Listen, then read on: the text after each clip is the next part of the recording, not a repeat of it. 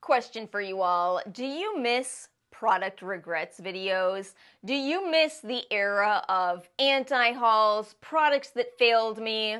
I sure do. I think that was a good time. And now, when I look up product regrets, I swear all I get are these videos of people going, I regret buying this skincare product because it has given me the most beautiful glowing skin.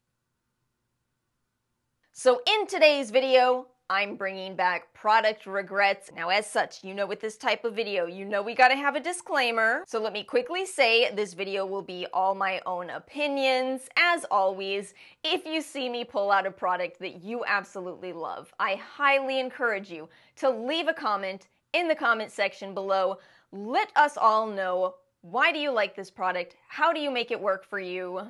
After all, this is a video about beauty products, which are a very highly subjective topic. Now, it is kind of hard to make this kind of video. It's hard to come up with enough products, I personally feel. So I'm kind of pulling from a lot of different categories. If you'd just like to get some spoilers for what's in this video, timestamps and links are in the description box below. So let's go ahead and get into it. I want to start kind of easy. I feel like most of you will probably very much understand why this isn't a fails video. This is the first and quite possibly only product that I ever received in PR from Supergoop, the Glow Setting 100% mineral powder, SPF 35. This is supposed to be a glowy powder. It is a glittery powder. It's glittery. It claims to have SPF 35 PA3 plus protection. Kind of interesting to see the uh, PA disclosed here. There's quite a few powders in this kind of packaging where you're supposed to be able to twist this portion and it allows the powder to come up through the brush so that once you have it open, you can just tap it onto your skin. Aside from the packaging not really working all that well, I feel like it is way too easy to accidentally unscrew this product. Uh, my biggest problem with this is I just cannot help but worry about people using sunscreen powders. If you're a fellow skincare enthusiast, you probably already know that it is really, really hard to apply powder and reach the SPF on the packaging for multiple reasons. One, because it's hard to apply enough of that powder.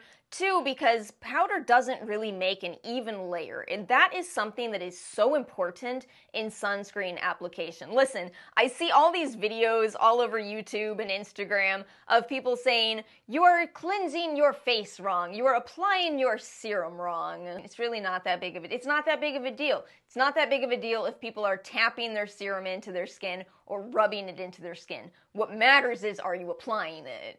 But correct sunscreen application is a big exception, a big exception. You really want to get that right because you really need to protect your skin from the sun. And I don't feel like I need to go off on the reasons for why that's important, at least in today's video, but it is important to get that right. And I just feel a powder doesn't allow you to get that right. I think it absolutely can be fine on top of correctly applied sunscreen. And to Supergoop's credit, they do say on the side of the box, brush it on throughout the day to refresh your look. Yes, if you want to use this as a glittery powder for some reason, fine. But they still do say and reapply SPF, and it's just not a good product category to use to reapply SPF. I'm not even sure about sun sticks. I think those are still kind of tricky, but at least it's a better option than a powder. And to just really check every box that ensured this was going to make it to today's fails video, I was rereading through the reviews on the Sephora website and Listen, the very first review. This person says, I was excited to try this so that I could reapply my sunscreen every two hours like my doctor recommends. Your doctor really wants you to be applying a regular sunscreen or at least a sun stick, but not a not a powder. These powders just don't give good, reliable, consistent protection from the sun.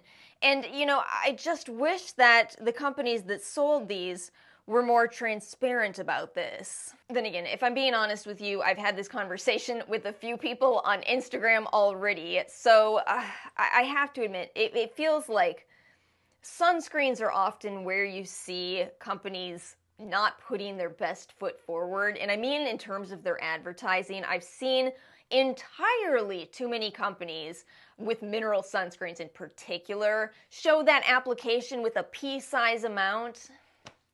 You're not helping anyone. Show correct sunscreen application. And if your product leaves a white cast, maybe take it back to the drawing board. Let's do a makeup product next, and also my only K-beauty in today's video. It's a product that I love, I just don't love this newest reformulation. But I do feel like I really need to talk about this for that exact reason. I saw Lab Muffin talk about this. It's really hard to recommend products because you never know if the company is going to suddenly make a giant change and a product that you once loved is now ooh, rough. So that kind of happened to me quite recently with these two newest Kaja beauty bentos. And if you follow me on Instagram, you may have seen I already tried to put the word out there because again, I have spoken so highly of these, but it's a new formula in their two newest releases. So the problem I have with this is that it seems they wanted to increase the pigment, but the problem is in the act of upping the pigment, they created some of the thickest eyeshadows. Let me try to explain what I'm talking about by giving a comparison of the last generation of Kaja's Beauty Bentos to this newest one. So this is Peach Madeleine. I'll put that, I'll do a swatch of this one first. You can see how pigmented that is, but it's beautiful and it's smooth. This is the newer formula for comparison. Can you see how chunky it is? I got a big chunk right there on my hand. This could look gorgeous on maybe oily eyelids or just younger eyelids in general, but my eyelids are dry. They can get a little bit of uh, kind of folds in them, and if you put a real thick layer of powder on my eyelids, it is just going to crack. So it's not flattering, and can you imagine the fallout? Can you imagine the fallout? I tried to use this one today Forest Night. I thought, what if I use a really, really light hand? And I, I had to clean up so much fallout. I had to completely redo my skincare, start all over again on the bottom of my face, and I feel like there's still some glitter. So much fallout for an ultimately not impressive look. Can you see that it's also kind of falling off my eyelids? Like it should be a little bit higher, but it just falls throughout the day because it's too thick. Obviously, there's three shades in here, but uh, the bottom shade, the usually a matte shade in these beauty bentos, I can't believe they've done this. It's a matte with glitter in it. Are you two-faced? Who asked for this? The middle eyeshadow on these, it's okay. It's pretty, but these are $26 at Sephora, and I just don't think anybody would really be super happy to, you know, get a, a very disappointing shade, a matte with glitter, and one decent shimmer. It's just not why I buy these. I buy these, or at least the old generation, because I liked all three. I just don't understand why they decided to make such a huge change in the formula when they had such a winning formula. We're gonna kind of change gears on this next product because, quite bluntly, this is a product I was sent by Dermalogica and I just can't use it. It has an allergen of mine in it, but that's not the reason I'm putting it into a fails video. Because of that, I can't try this product, which means I can't really have much of an opinion at all on the product. But I can have an opinion on the claims. So this box says on the front of it, clinically proven to give four years back. Dermalogica, your biggest flaw here is that you fail to realize I can do math. I am absolutely not going back to 2019. No, thank you, ma'am. I remember what happened in 2020 and I am not living through that again. Clinically proven to give four years back. Now, listen, I'm going to be realistic for a second. I will step back from the sarcasm. I recognize that most people don't actually think this is going to be some kind of magical time traveling machine. However, I think that phrases like clinically proven people probably don't really pay a lot of attention to them, but I feel like it does have a subtle effect on the way that people perceive a product. Clinically proven. It sounds like the company knows something about this product, like they did a lot of research, they really proved something. But let me tell you, clinically proven does not mean anything.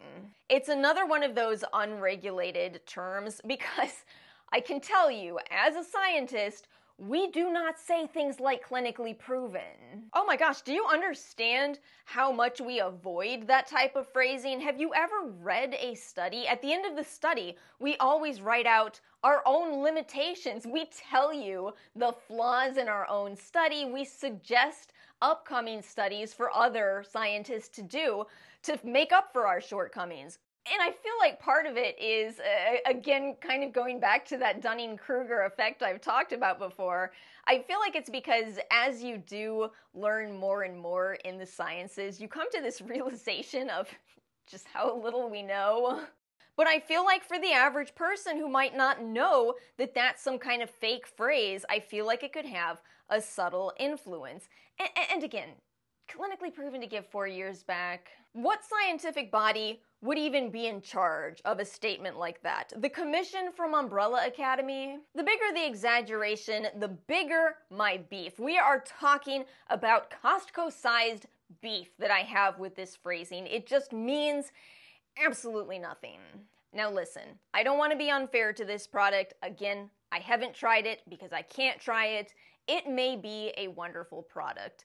But again, my problem with especially a lot of the more expensive products is I notice that they love to do these kind of things. They love to make these kind of claims that are just they're kind of goofy. They're kind of goofy claims. And yet again, my, my point is I feel like people may not really register the ridiculousness of the situation. You know, just imagine I wasn't my skincare enthusiast self and I was just somebody trying to go into Ulta to buy a nice moisturizer. I might pick this up, see, oh, it works immediately. Okay, uh, clinically proven. I'll buy this one. And I don't know how much more money, I really don't know how much this costs. Is it a lot? I bet it's a lot. But I'd be spending more than I need to on a moisturizer that's my point. Again, if you have tried this, feel free to comment, but I, I got myself annoyed over the claims yet again. Next up, we have a product that I have really, really mixed feelings about. So, this is the Amika the Wizard silicone free detangling primer. They recently reformulated this. Typically, I like Amika. I feel like they have they have some really good smelling hair care if that's something that interests you. But my my whole problem with this product is that I feel there is a huge discrepancy between the way Amika describes right here on the bottle to use this product versus what actually happened to me and apparently many other people in the reviews. Okay, so it's a detangling product. I need detangling products. I have very fine hair. It is very prone to tangling. I genuinely thought for most of my life that tangles were a, a, a, problem that every one of us deals with. It wasn't until, you know, I, I dated Ara where I realized you can have long hair and not deal with the number of tangles that I have. I'm like Medusa. Instead of snakes coming out of my head, it's iPhone cables. Constant tangles. So I need detangling products. So uh, what this says on it is to uh, evenly mist throughout damp hair before detangling or blow drying. I mean, it sounds so simple, right? Spray it into your hair and blow dry. So I first tried this out on a Saturday. Thank goodness for that detail. I got out of the shower, sprayed my hair with this, not too much, just kind of, you know, a light misting of it, and then waited a little bit and then went to blow dry my hair. My hair type usually takes maybe one to two minutes at most to blow dry. It had been about five minutes of blow drying my hair. I am going, I've got, by the way, I do typically just blow dry my hair upside down so I don't actually see what's going on at this point. Is that another quirk? Is that another not common thing? It's a, it's a fine hair thing. Anyway, so I am upside down. I pop up after five minutes. I look in the mirror and I immediately know what's going on. My hair isn't wet. It's that my hair is soaked in oils. My hair looked so dirty. It looked like I hadn't washed my hair in, I don't know, two weeks. Just oil, which I was confusing for still wet. It, was just full of oil. I had to get back in the shower. But let me tell you the good. It actually is such an effective detangler that after I finished washing my hair a second time, I get out of the shower and I, I felt my hair and I went, I don't think I need to detangle it. It feels like it, it doesn't have any tangles in it. And sure enough, I, I didn't need any product. I still put in a little bit of heat protectant and blow dried my hair, but no tangles. So it's a very effective, I repeat, a very effective detangling mist but you can't follow these directions. And that's the problem. I was reading through the reviews, and so many people had this experience that the, the way the reviews looked is you had people saying, This is not for fine hair. And then under that, you'd see someone say, This is not for thick hair. And after reading enough of the reviews, you know, I'm going, is this for anyone's hair then? Well, yes, it is. But the trick is, you have to use the tiniest amount of this. In fact, what I figured out more recently is it actually works to just not use this, to use your regular detangler. And if you have a big tangle, spray a little bit of this only on that big tangle and it will get rid of it in moments. So yeah, in my flops video, I actually have an amazing product, but a product that is not explained well by the company. I really think that if they just figure out how to describe this product better, if they, you know, figure out its weaknesses and are willing to convey that to customers, this could actually be a holy grail product for people. But the way it's currently designed, the way it currently explains itself, people are going to hate this. Anyway, we've come to the end of today's video. I hope it's not too negative. I hope it is instead a helpful video. That's my intention. As always, feel free to share your thoughts in the comments. Let me know if you have any product regrets since we don't get enough of that on YouTube. Feel free to leave some comments about products that you have regretted. And that's it for today's video. If you enjoyed, make sure to like and subscribe. Have a wonderful weekend, and I will see you all next time.